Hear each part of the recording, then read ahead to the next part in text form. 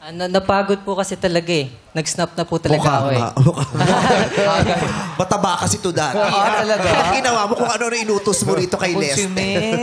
Pagod. Taga Bulacan. Kasi bili mo naman ako sa Santol. Saan? Sa Sambales. Ayo.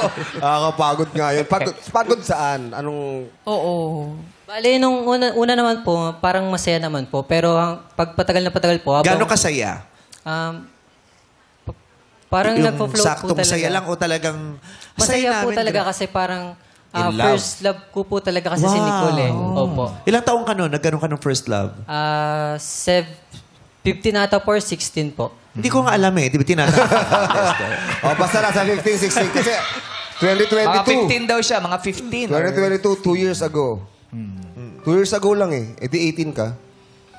Nag, yung first la- Nakita pa po kasi kami. Parang may Ah. nakita pa po kami nung mga s- high school po kami noon sa Valenzuela po. So, nung high school pa lang, in Opo. love ka na sa kanya. Opo. Kaso binasted niya po kasi ako noon. That time. Binasted? Ah, busted. Opo.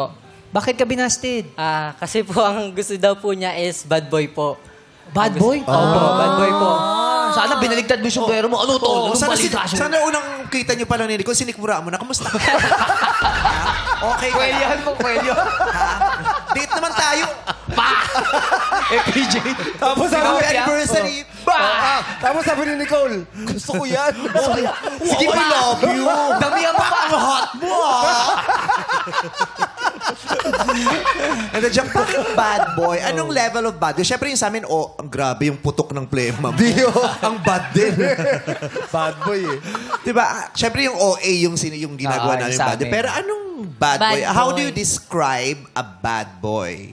Siyempre po, that time, immature pa po kami since um, way back 2018 pa po noon. Mga 15, 16 years old po kami. So, sa akin po kasi, sobrang bait niya po talaga. As in, na hindi. innocente Describe mo lang po. natin. Yeah. Yeah, yung ano lang, ba, innocente. ano yung bad boy Yung sa ka? bad boy ko you. po, yung ano, yung laging nangaasar, ganon. Yung itsura pa lang, parang masasabi mo na na, ay, bad boy, parang ang lakas nung dating na maporma, ganon yung lakad, ganon po. Bakit? Yung ga- naka-open yung polo ng uniform. Yung mga ganon po, yung Yung mga din Oo. po. Eh, yung naka-open yung dito kasi may saksa. Okay. may naligo sa akin ganun eh. Naka-open din. Di pero may saksa. Ano, pinotopsy. Pinotopsy. Oo. Di naman ako dapat. Padaan lang ako eh.